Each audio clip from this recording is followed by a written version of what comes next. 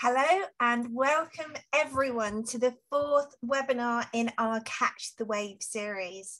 My name is Louise Hosking, I'm the IOSH president and I will be your host for today. Our Catch the Wave campaign is a call for action. For work to be truly sustainable in the long term, we must put our people, their safety, their health and their well-being first. It is time for our organisations and our governments to stop viewing people as expendable, to be used, left exhausted, psychologically harmed by stress and trauma, or left in poor health due to the conditions they work within and the substances they are exposed to. It is time to stop accepting harmful exposures as normal or too hard to challenge compared to other corporate risks. At IOSH, we believe people should be placed at the first and centre of work. At IOSH, we believe we should care about how people feel and prevent injury and harm from work. When we put our people first, they will return our trust and step up, bringing their whole selves to work. It is via our people we will navigate the very many challenges we're facing in the world right now. So let's treat them well. Think of sustainability and we automatically think of the environment and climate change. In business, we understand sustainability is more than this as we balance people, planet, and profit.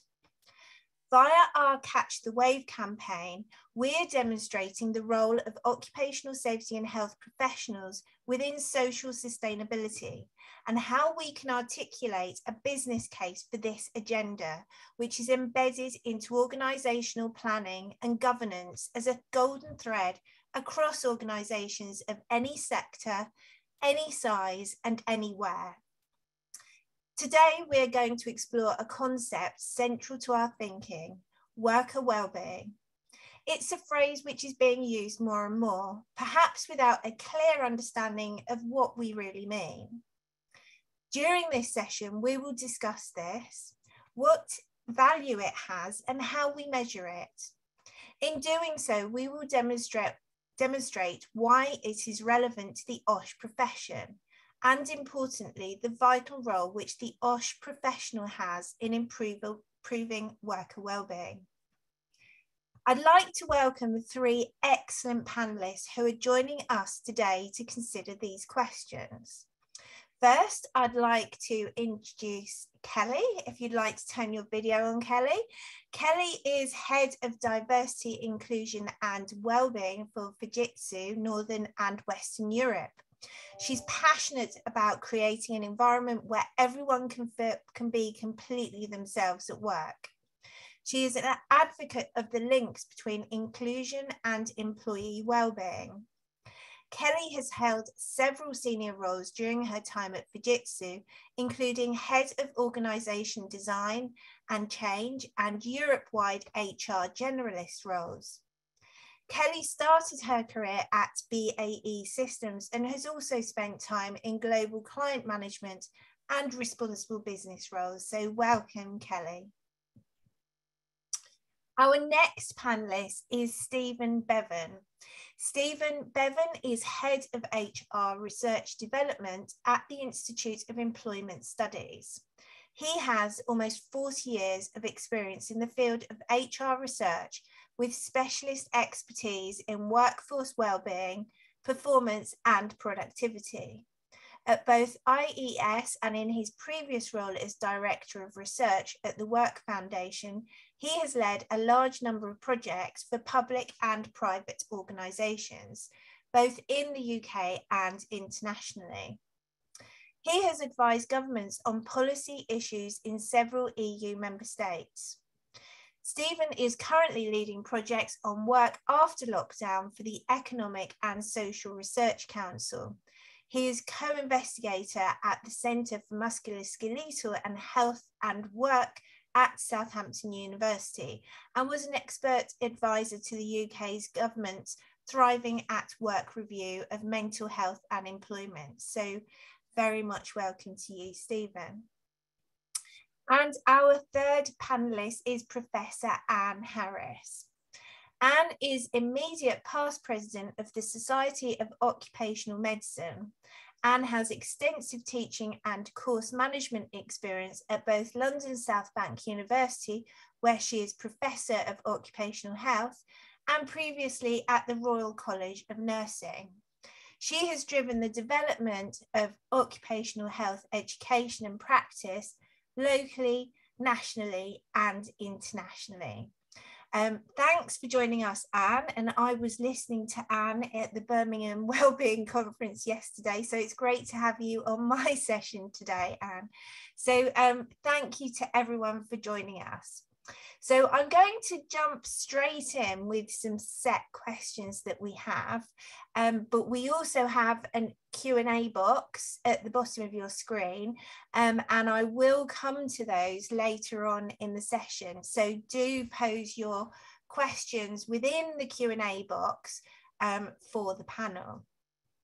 So Earlier webinars in this series have looked at the contribution that good occupational safety and health can make to organisations' competitive advantage and encourage businesses to incorporate OSH into their long-term strategic planning and governance. Our focus in this webinar is on worker wellbeing. I think intuitively we all know what well-being at work means. We probably have varying understandings that it's about how people feel about themselves in terms of their levels of happiness, fulfillment, satisfaction, self-worth and value. I'm sure many on the call are familiar with Maslow's idea of self-actualization, in which the individual is able to realize their full creative and human potential. And perhaps we can suggest that these concepts of well-being and self-actualization are not too far away from each other. So to start off my questioning, um, I think it's worth us stating that by re-examining what we mean by the term worker well-being, um, so I'd like to really ask each of our panelists in turn um, if they could uh, each identify one or two aspects that we should include in our understanding of the term worker well-being. So I'm going to just go around my tiles um, and Kelly, if I could start with you. Thank you, Louise. And, and first of all, just a comment, because I've been keeping up, up with uh, the introductions that people have been making to themselves in the chat, and it's brilliant to have such a mix of people part of this conversation today. So uh, thank you, everybody, for being with us. And um, what what what would I define um, worker well-being to be? Very simply, it's about the positive health culture that you create within an organisation. And to break that down a little bit, I would then um, say that that is is about the environment that you create within the organization that enables people to achieve a healthy balance across four key components. A healthy balance in terms of their physical and mental, social, and financial health. And what's critical for me is that those four things are not independent of each other. They're a jigsaw. And those, those four factors all need to be um, need to be addressed to create that culture of, of positive worker well-being. So I'm sure we'll get into that a little bit more as we get into some of the questions, but how do we make sure that we're paying attention to all of those different um, facets of well-being in equal measure? Thanks, Kelly. And Stephen, if I could ask you the same question. Yeah, I think um, I agree very much with what Kelly was saying. I, I mean, I, I, if now we're into quoting um, um, organizational psychologists from the 50s. How about um, Frederick Herzberg, uh, who said that uh, if you want people to do a good job, give them a good job to do. Um, and when you start unpacking what a good job is, I think we might get towards um, some of the definitions of what um, well-being outcomes we want. Because I think if people have, have jobs where they feel able to flourish, they're able to grow, they're able to use their skills, um, where they have a sort of animating purpose, um, then I think we're we're closer to getting a, a, wider sense of what well-being is. um, I think what we need to avoid is um, over medicalizing um, well-being. Um, it's very easy to sort of come up with sort of diagnostic terms for all the different ailments and uh, issues that people um, and challenges that people face, and obviously that plays a part. Uh, but I think well-being is broader than that, and it is about people's ability to flourish at work. Thank you. And and Anne, the same question to you, worker well-being. Mm, that, that's so interesting. Um, often health is considered by non-healthcare professionals as just the absence of disease, when in fact it isn't just the absence of disease. It's looking at that person as a biopsychosocial kind of organism. Um, I, will just bring something from my practice from quite a long time ago now, where there was a nurse working in a community setting who had so many health problems. It was unbelievable. She had severe diabetes that she'd had since a child. She got kidney problems as a result of these the, the um, initial diabetes, lots of comorbidities. You would not say she was well at all. However, her well-being was off the end of the Richter scale because she loved being at work. That gave her meaning. She liked being with patients, and she was a fantastic worker. So although she didn't have good health, she had excellent well-being, and part of that was her intrinsic love of her job. But more than that, it was a very good manager who would nurture her and promote her so that she, uh, when I say promote, I don't mean promote through the promotion, but enabled her to give the best of her professional ability in the workplace. That's what gave her life meaning.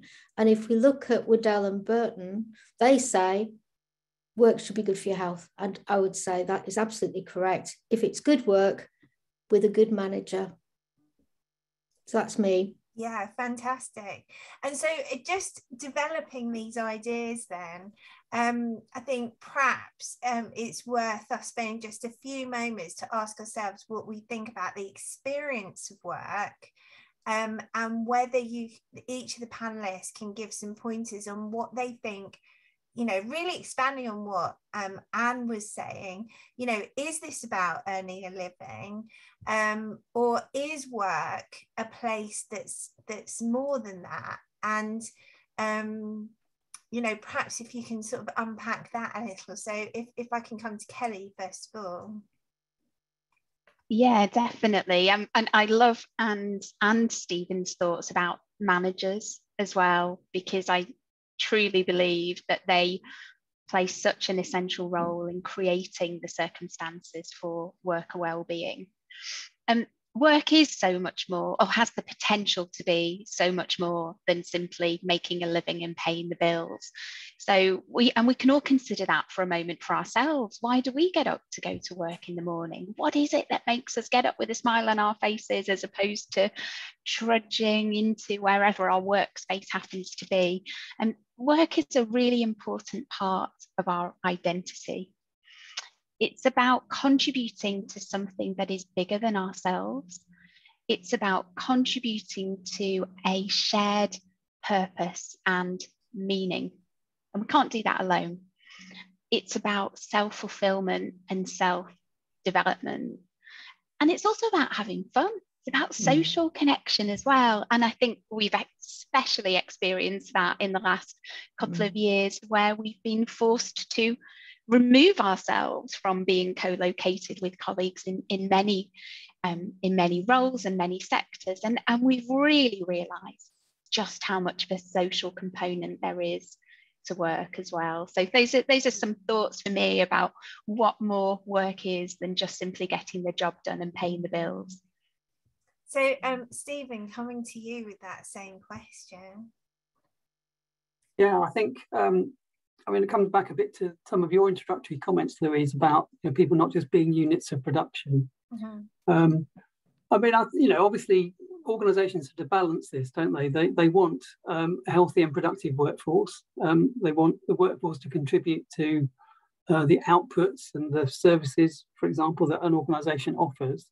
Um, but they also have a responsibility that goes beyond their legal duty of care um, to try and provide them with a working environment which is satisfactory, um, fulfilling, motivational, and so on. Um, and we've been at IES, we've been doing quite a lot of surveys with people during the last two years during the pandemic, um, particularly people who've been working from home, not exclusively. Um, but we have noticed a bit of a shift, or at least people becoming a little bit more explicit about what it is they want about work. Um, and it's very clear that, that, most people see work as, as a social as well as an economic activity. Mm. You know, a lot of people who felt isolated during the, the pandemic um, I've really missed working with colleagues. And some of that's not necessarily to do with the work itself, it's just about informal social connection. Um, but it is also to do with um, what you might call micro interactions that people have, you know, where they're swapping knowledge and know how with people in informal settings and serendipitously. I think the other thing is that um, people have learned that actually the thing they do value about work is being trusted uh, to get on with their jobs. And mm. if, you, if you've been working more remotely um, and your manager's only had um, you know, relatively little to do with setting your objectives and monitoring your performance, um, and has had to trust you to get on with your job, then being in a job where you have control and autonomy, you have some discretion over when and where you do your work. Uh, I think a lot of people really enjoyed that. Um, and then, in fact, a lot of managers um, who perhaps five years ago would say, oh, we couldn't possibly have this mass migration to mm. remote working. We couldn't possibly work in our organization. They proved to themselves they can manage in those circumstances. And so I think there's been quite a lot of learning and a realization that work is not just about you know, uh, ticking off things on a, on a list or contributing to a narrow measure of productivity. It's something wider than that. Yeah, it's it's like we're really unpacking why we like to work, isn't it? Um, and I don't know um, if Dimple in the background can put a link into the chat box because we, um, before the pandemic, IOSH published a really excellent white paper on why good work is good for people. Um, but yeah, I don't know if you can um, give your perspective on this as well, Anne.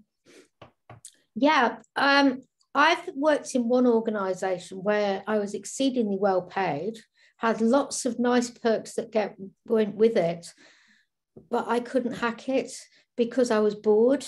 They hmm. weren't using me to the best of my potential. I was for what I was doing, I was overpaid. Well, nobody's going to complain about having too much money. But what it wasn't doing was engaging my brain. So I had to sit down because at the end of the day, we've all got bills to pay. We all have other financial issues that we have to deal with. For me, one of my biggest expenditures is holidays.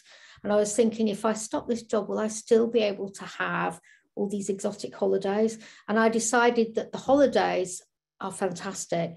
But if I was just going into work for drudgery, it's not worth it. Mm. I was very lucky that I was in a position where I didn't have to stay. Other people aren't so lucky.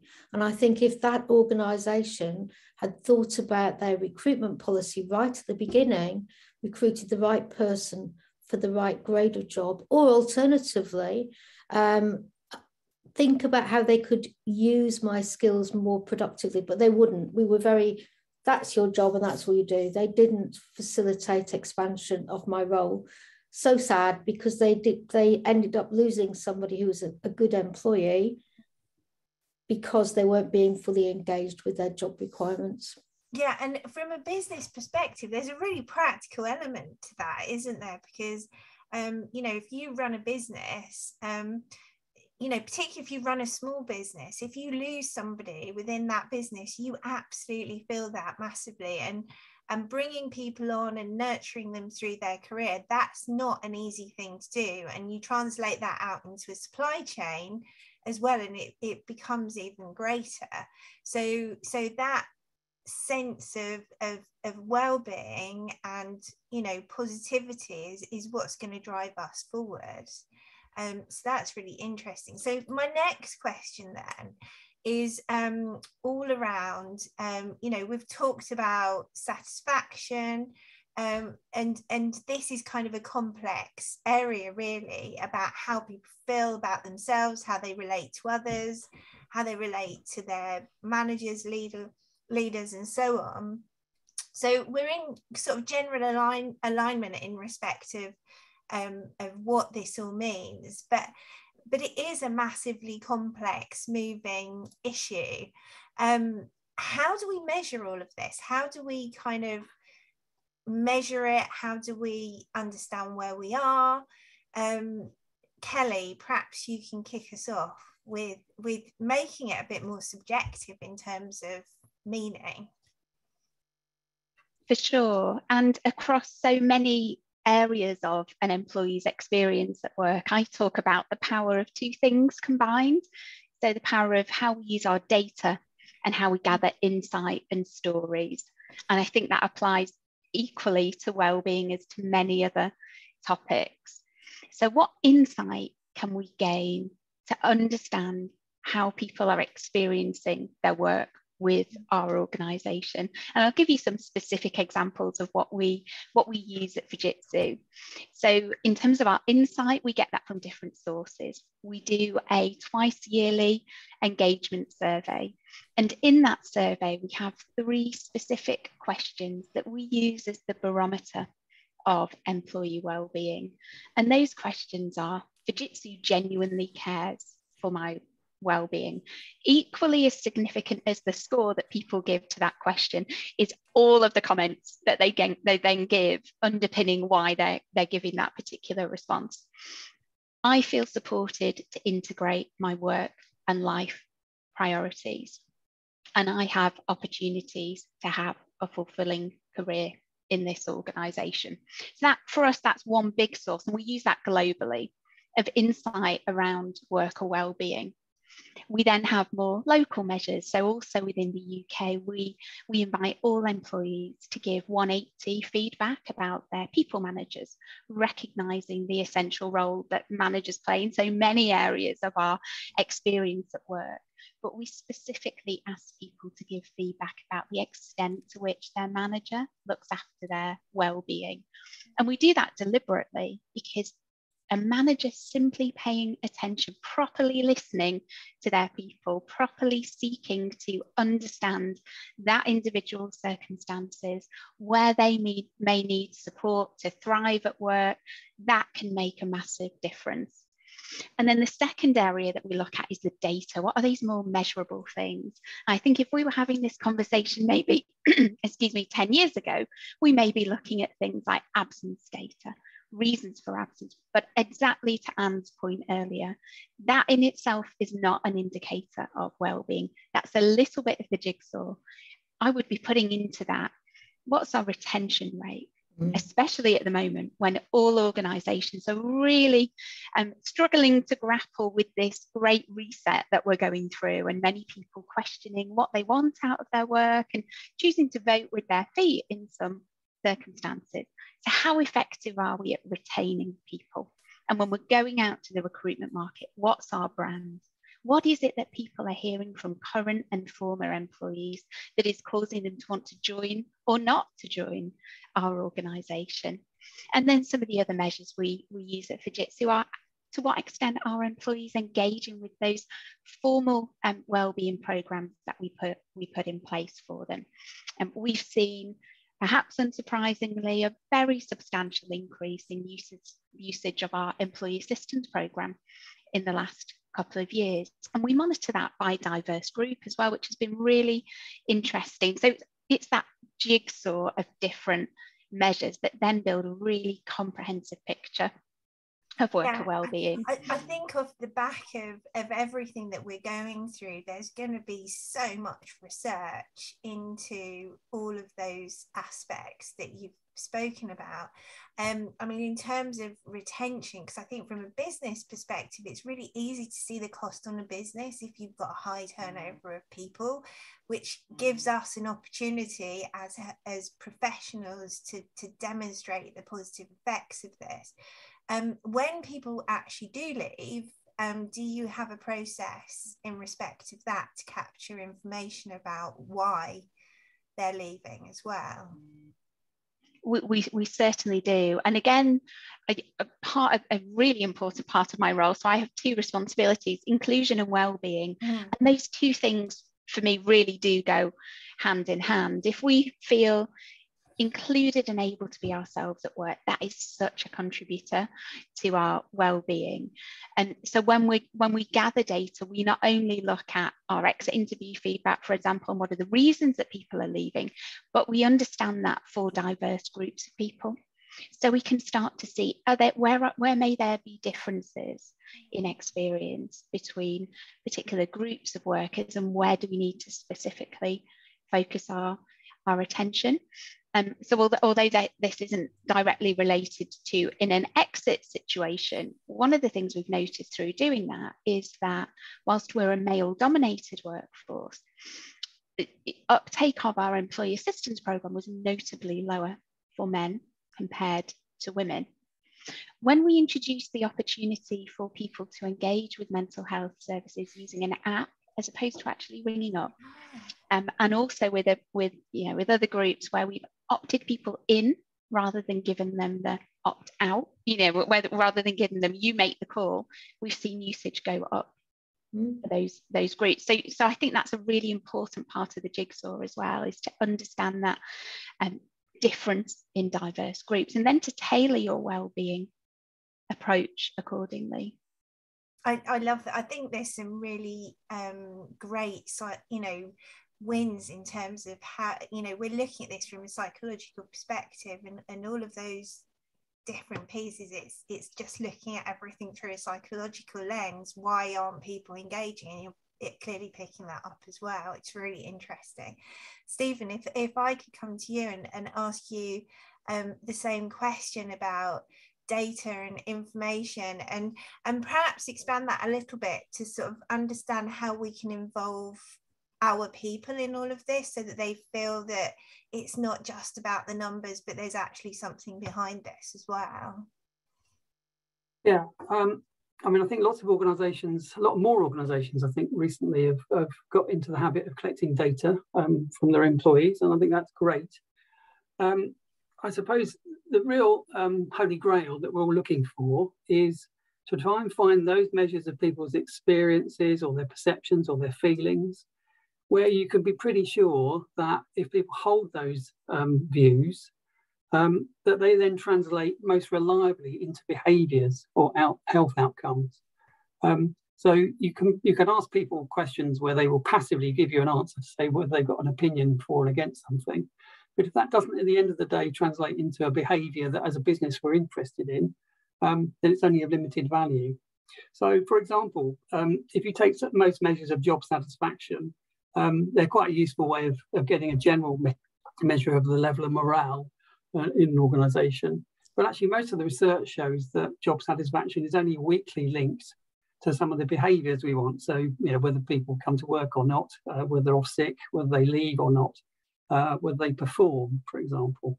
It's not unrelated, but it's not as strong or reliable as you'd like. Um, I think more recently we've had measures of things like organisational commitment, um, which I think are slightly better because they do translate more reliably into, into behaviours.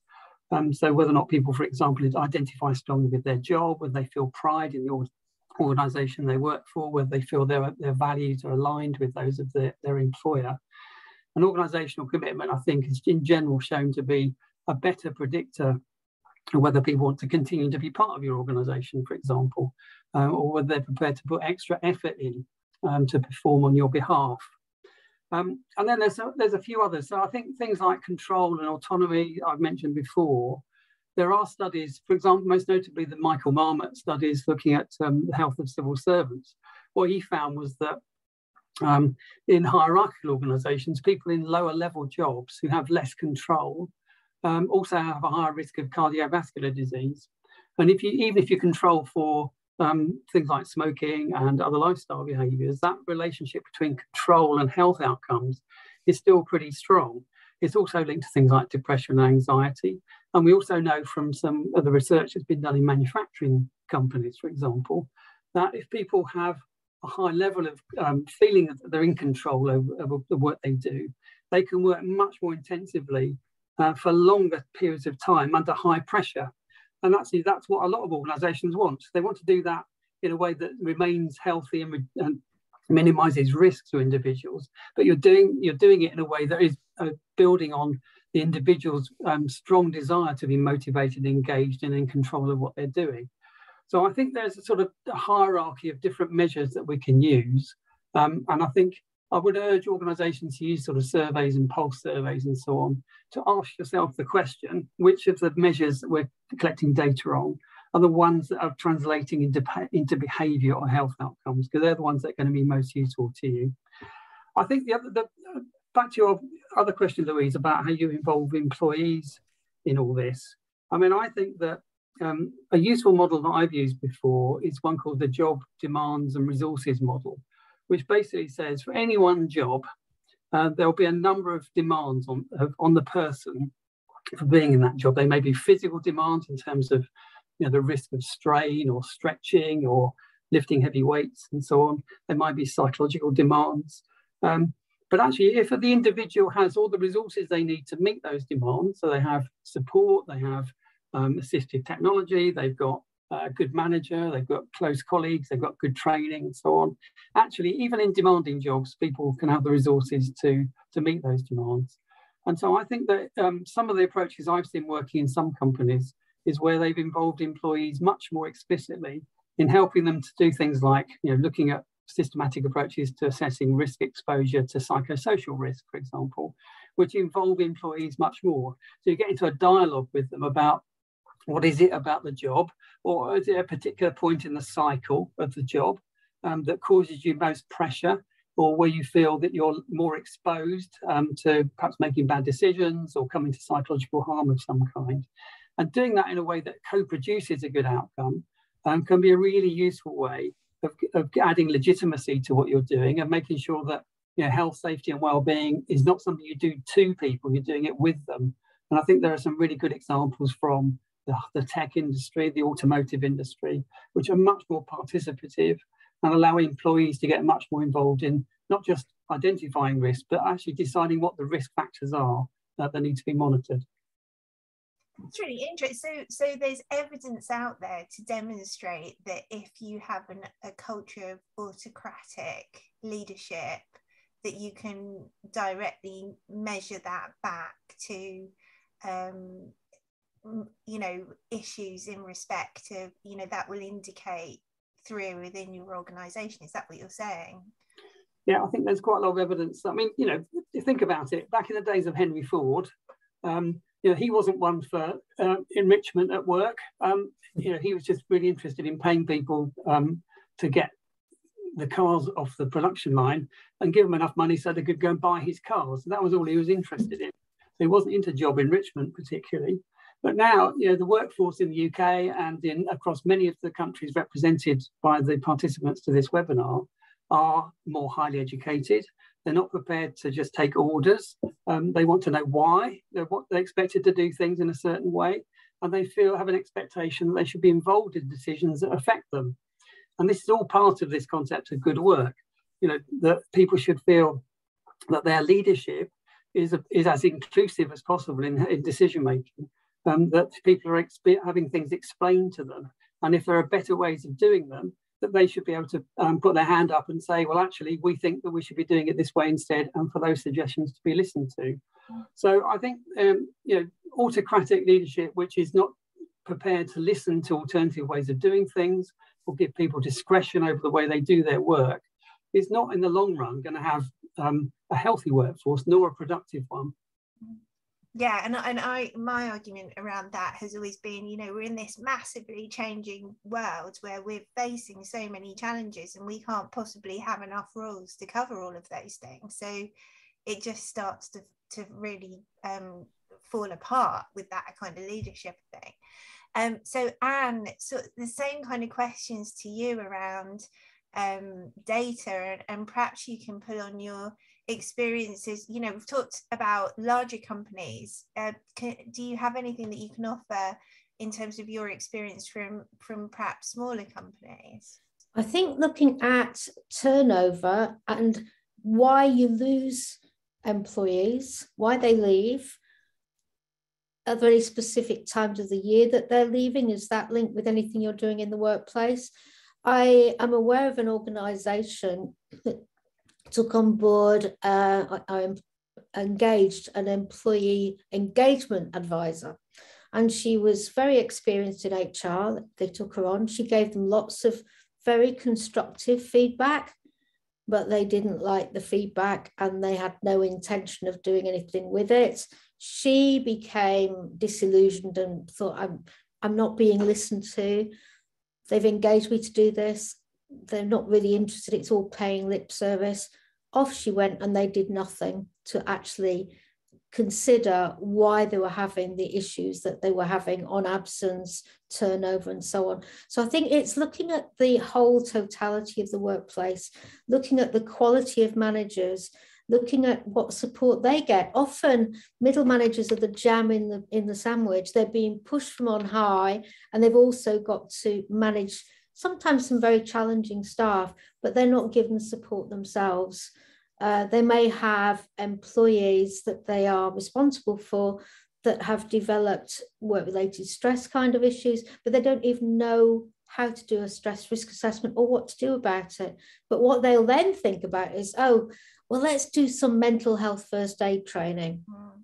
Now, that to me is just like having a poorly guarded machine where people are putting their fingers in and having them chopped off, and then having a huge supply of ambulance dressings that you then apply. If you looked at why it was going wrong in the first place and repair the machine, you would not have so many broken people and so many used dressings. So that's that's my my hint is get managers thinking about mental health, not just about having mental health first aiders, but train them to understand what in the workplace could have an adverse effect on mental health. I think um, health and safety practitioners have done a lot to control physical, chemical, mechanical, biological factors in the workplace to stop people getting those kinds of, of issues like losing fingers in poorly guarded machinery. And I'm really pleased to talk to safety professionals who are now thinking about the mental health issues too there's a um just staying with you on that one Anne, there's um you know there there is a school of thought is you know is this a is this a role for the health and safety professional? Um, my personal view is yes it is because you know we've got those skills to risk assess but perhaps you can um, talk about that as well. Is, is, it you know in terms of health and safety law for example you know where does that all fit in? Oh i could wax lyrical on that. First of all there is a duty of care under section 2 of the health and safety at work act for those of people in the uk um, obviously overseas you may have your own health and safety legislation but to do uh, to have that duty of care and to then think about doing risk management approaches then within that, we've got the six pack and the management regs. Regulation three requires you to do those um, risk assessments. Then you think about the HSE website and mental um, health and so on. And I think that the health and safety professional is very, very good at, at being integral in, into pushing those um, those risk management approaches they're not necessarily all, although many will be, uh, but they're not all necessarily geared up to, well, what can we do on the more health side rather than the safety side? I remember when I did my MSc, I chose the health and safety pathway because I already had the, a nursing qualification in occupational health. And I remember one of the module leaders correcting me when I was talking about occupational health and safety. And he said, no, no, it's occupational safety and health. Well, I didn't argue with him, but where does the health finish and the safety starts? I believe in working within a multi professional team, and I value health and safety professionals. But it might hmm. be that the health and safety professionals identify there's an issue, can do the risk management and so on. But it might be that they say, actually, let's bring Anne in to do more on the mental health issues. So I see it working as a, an integrated team where we've each got a, part to play. Some people may be better on one element and others may be more focused on a slightly different facet. It's an ultimate, it's the ultimate team sport. It's a contact sport as well, isn't it? So yeah. Mm-mm. So um, Kelly, I'm going to come to you, and I'm going to start to to to go off our set questions now because there's some interesting questions coming up in the Q and A box. Um, and there's a few sort of similar questions about pressure and workloads with changes. So um, Darren says, and I completely agree with you, Darren, that we're definitely pushing on an open door in respect of this, but it still feels like slightly a, a kind of a, a, a tick box exercise. Um, we've got um, someone on here who's who, they're going through um, Alan's looking at, um, they're going through a merger in respect of two colleges and bringing in two different sets of people. So, so all of this is sort of coming through and there's an amalgamation of different things. Um, Kelly, from your perspective, can you give any advice in respect of that? In terms of, you know, where do we start and and how do we you know mm-hmm. how, how do we kind of tackle these things that might come in sort of left of center how do we stop it from being a tick box exercise so well-being for me is about is about the culture that you mm. have within the organization and there are many different things that create the culture leadership is, is, is a key one, the way that we're organised, the way that we're structured, the way that jobs are designed, the level of autonomy that people have, but also at an individual level through our own behaviours and choices, we can contribute to that, to that culture as well.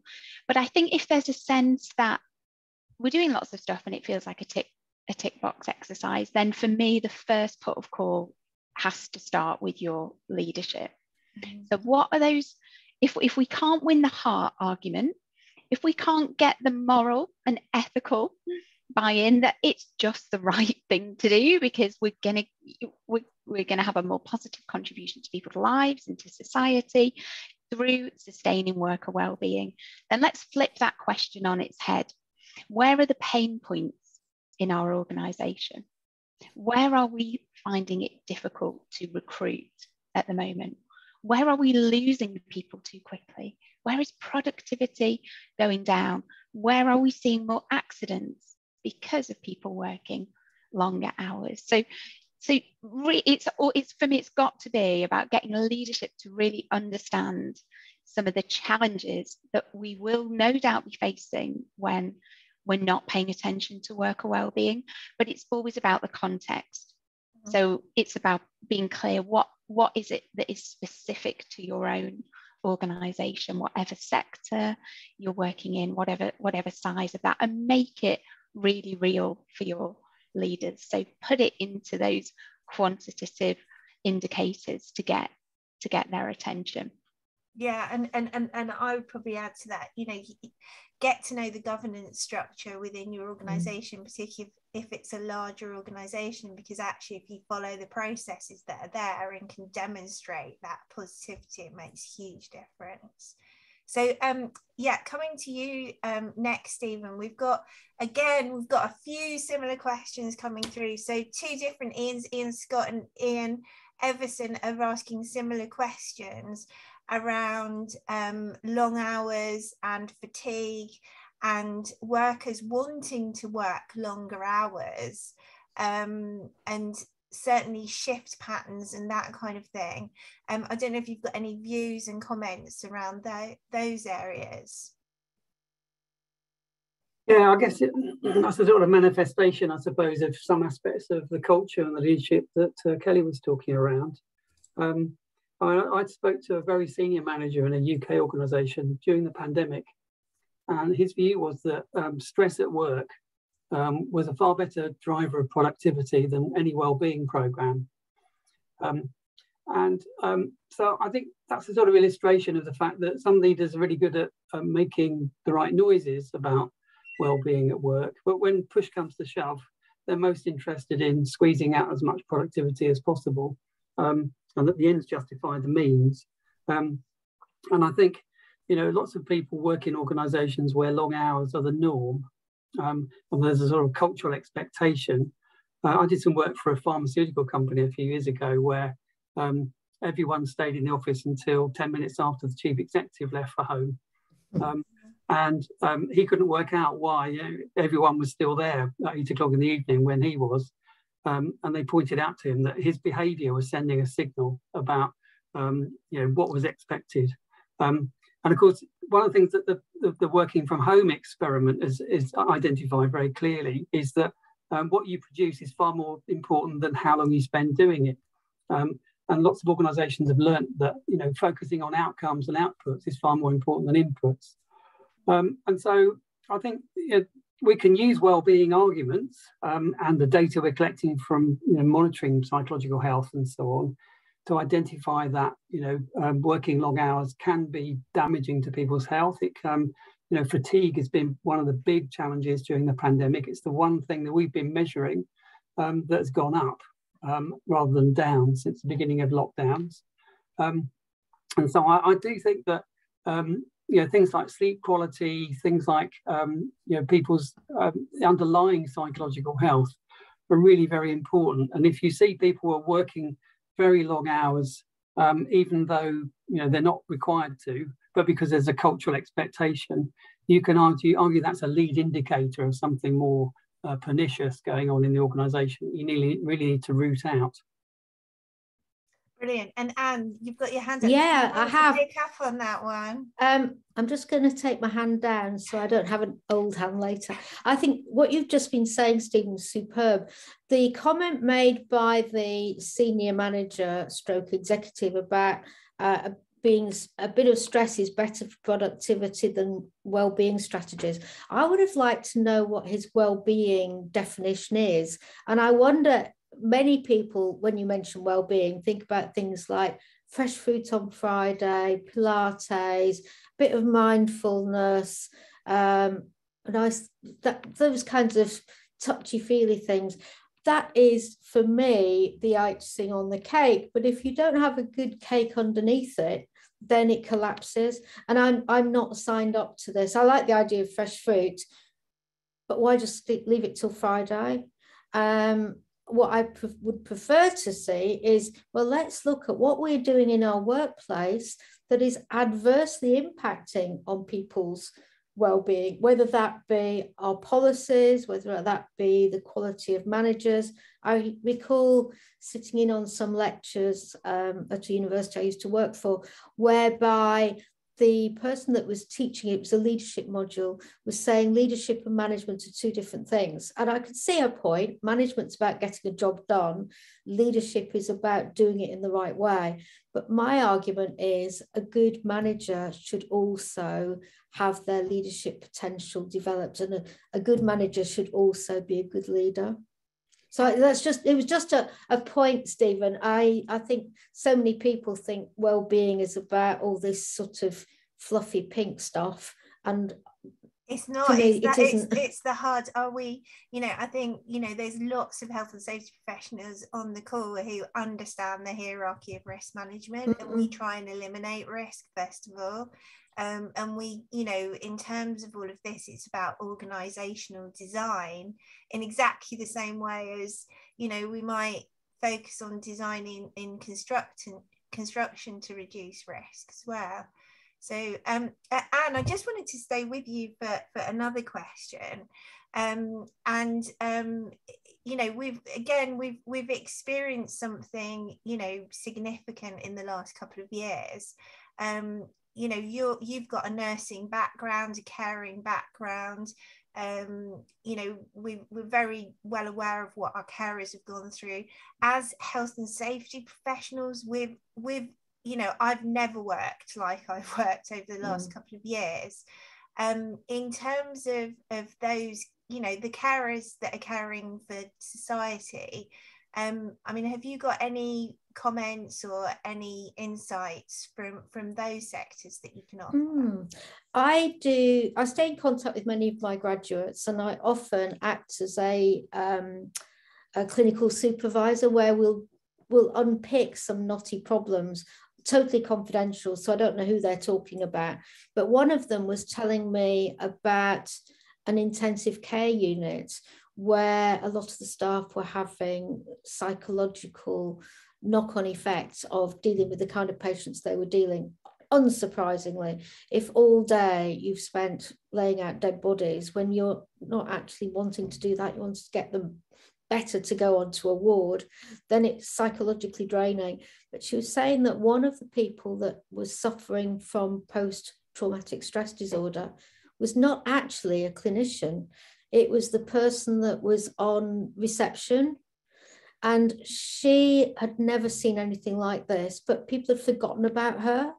And so I think sometimes you need to dig a little bit deeper to look at what's going on. I was talking to somebody at the at Birmingham uh, conference yesterday who had been working in a senior position within the NHS. She's moved back into the commercial sector now, and she was talking about a nurse who had ended her life by suicide mm. at work. And she worked on an intensive care unit. I hadn't heard about the case, which is surprising because it's in a, locality close to me and it had all the headlines. But I guess I was so busy reading other things that, that I missed it. But so sad that that person was so destabilized because of the work she was doing, working on an intensive care unit, where it was a bit like being in a, on, in a war zone unprecedented. What I really like to see during the pandemic, but I suspect that that's now we moved on things like those relaxation lounges where cabin crew from I think British Airways, Virgin, I can't remember the others, were running like a first class lounge so that when a staff member had the time to go and take a break, they could go to this lounge, there'd be food there, there'd be um, somewhere they could just switch off. And that was absolutely marvelous. And they the hospitals really stood up and, and reacted positively to this awful situation that their staff were in. I just hope that degree of support, not necessarily having your first class lounges, but being aware of the mental health issues associated with healthcare um, professional work have been taken forward, as well as the physical, you know, the moving and handling and all those kinds of issues. Is that yeah. helpful? Yeah, no, and, and I think we've done all of this stuff, haven't we? And we've got it. That's the whole point of Catch the Wave is we've got to continue doing this. So we're we're we're believe it or not, we're almost we're rushing through this. I'm going to come to um, you, Kelly, for one last question, and then I'm going to come around the panel to leave your last thoughts. And I know you've got to um, shoot off, Anne, so I'll come to you first of all. Um, so, so just one last um, question from yourself, Kelly, um, and it's kind of tied into Anne's response in respect of that. So, you know, Catch the Wave is all about social sustainability, and work isn't just about work, it's about communities, it's about that impact that it has on our families. Um, you know, if, if we've got healthcare workers that, that are going through all of this, they're coming home with all of that. Um, can you just say, you know, Fujitsu is a huge organization. Can you just say something about um, you know how you support in terms of a wider community feel and, and why that's important to your organization. So and by that you mean a wider community beyond yeah. our, our direct employees. Yeah for sure. And what i would what i would say to that is um no lo- loads of things to be honest but the way in which we support our employees well-being has a huge knock-on impact on their personal lives, their families, etc. So, so I do firmly agree with the point that Anne made a little bit earlier that well-being, an, an organisation that cares about well-being is not an organisation that simply does the window dressing and says we've got yoga on a Monday and we'll give you some fruit on a Friday and we do a physical activity thing once a year. You know that isn't well-being. Well, well-being is about how you in, incorporate and a set of healthy standards into the way that people that people work. So by doing that with your with your workforce that will impact their their families. But then thinking about well what provision do you have to support worker well-being? So if you're offering mental health services can they be available to employees family members and immediate dependents? Um, during covid some of the things that we did to engage people and get them away from given that most of our workforce is, is doing desk-based work, get them away from their desks a little bit and have some fun. Loads of virtual classes for people and their families mm-hmm. to be part of, doing social events that families can, can contribute to as well. And then also that connection with each individual through their line manager. So what what's going on for you? Let me check in on how you're doing. What's what's going on personally and how do we need to tailor or tweak the support within the workplace to contribute to that? And, and I think a final point for me, it, it, comes back to the organization's purpose.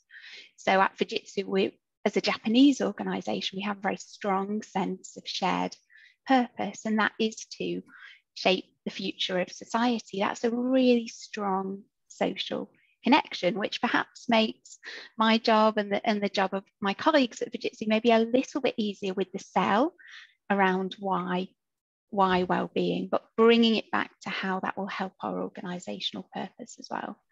Fantastic. Do stuff you enjoy. Um, and I'm going to come to you with um, because um, I know you've got to shoot off. So your final points and you know perhaps a top tip um, for the audience um, that they can take away as a, a, you know why are we doing this? A positive top tip from you just to finish off.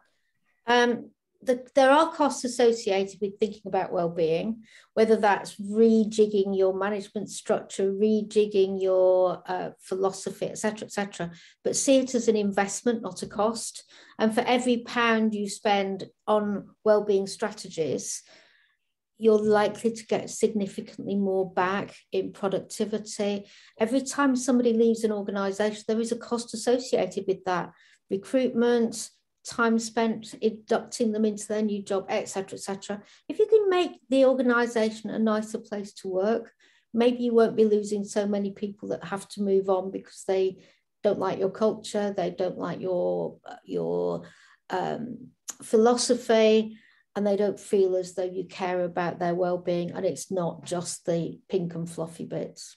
Excellent i love that not just the pink and fluffy bit. Thank you so much anne.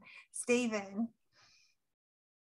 Um, yeah so i think my observation on what i see too many organizations doing at the moment is that they're focusing a lot of their time doing the really heroic stuff around patching people up once they're ill um, to get them back to work as soon as possible um, and they sort of pat themselves on the back that they've managed to get themselves through a crisis. Um, whereas actually, if you spent more time doing the harder yards on, you know, going upstream um, and preventing ill health in the first place and identifying risk and so on, you wouldn't have to be so heroic um, and, and have a patching them up uh, approach. And I think that this applies also to things like vocational rehabilitation and return to work. I, think part of the alchemy of all this is using our expertise. You know, people like Anne and colleagues have got great expertise in understanding how you get someone to come back to work after perhaps an injury or an illness and so on. And perhaps just to finish, um, you know, my own situation, um, I've been having cancer treatment for the last two or three years and I've come successfully back to work.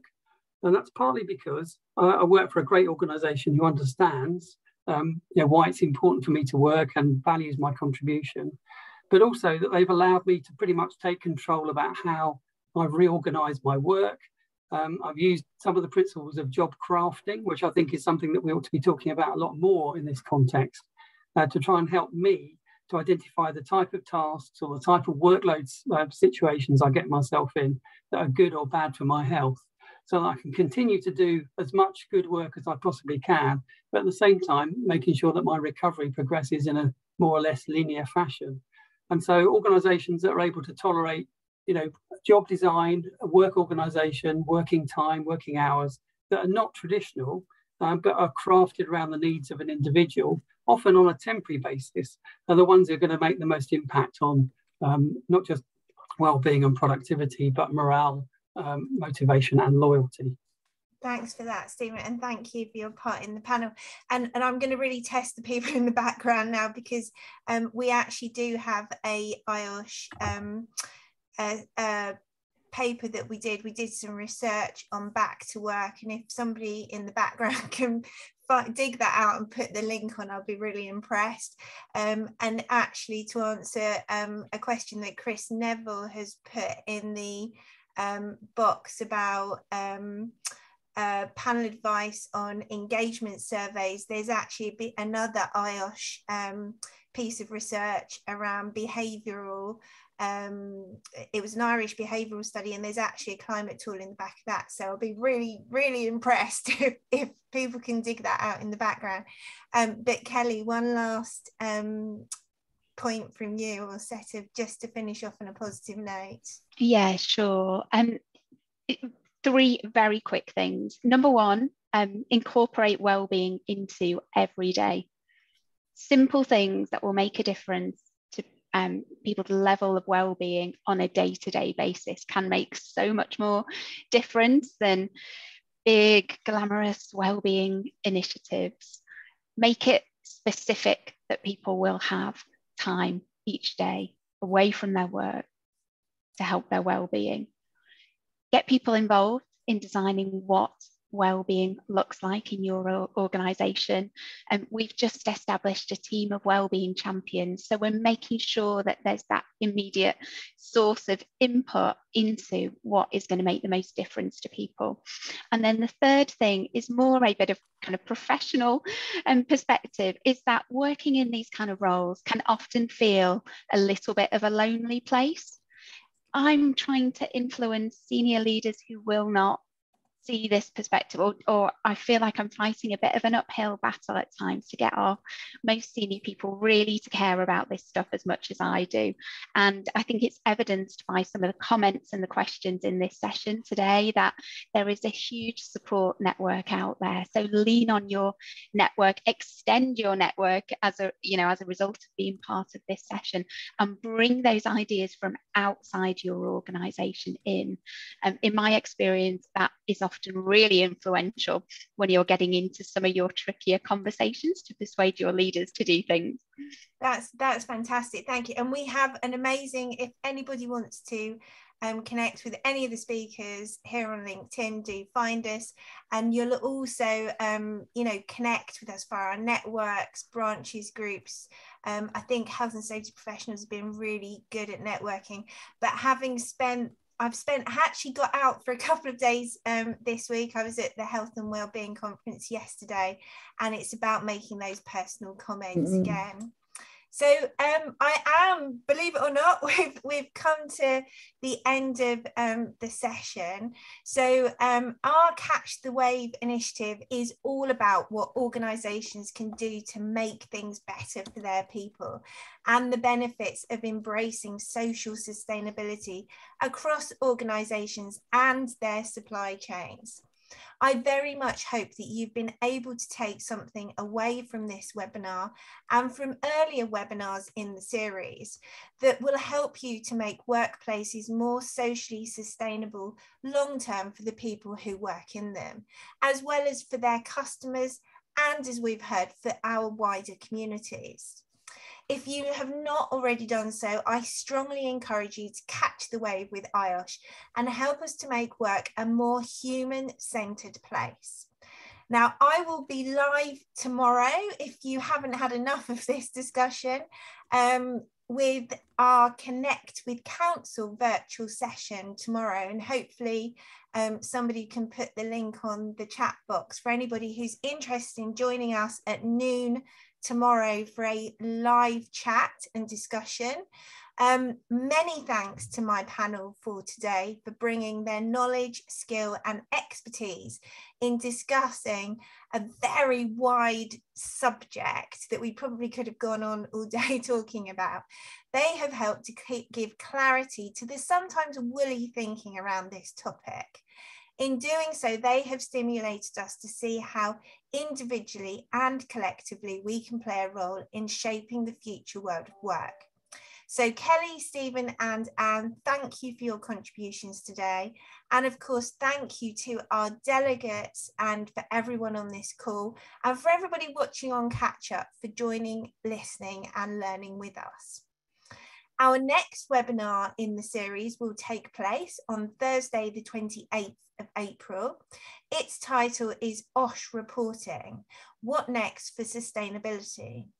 Right now on your screen, you will see details of how to get involved and where to go for more information. I personally want to encourage each one of you to visit our campaign page, which you can find easily from the homepage of the IOSH website. You'll find a whole host of information as well as excellent resources and content relating to the campaign, including the, re the recordings of this webinar series. So with that, I bring this webinar to a close and thank you all for catching the wave with IOSH as we focus on people, sustainability and putting heart into health and safety. Have a great rest of the day. Thank you for joining us and goodbye.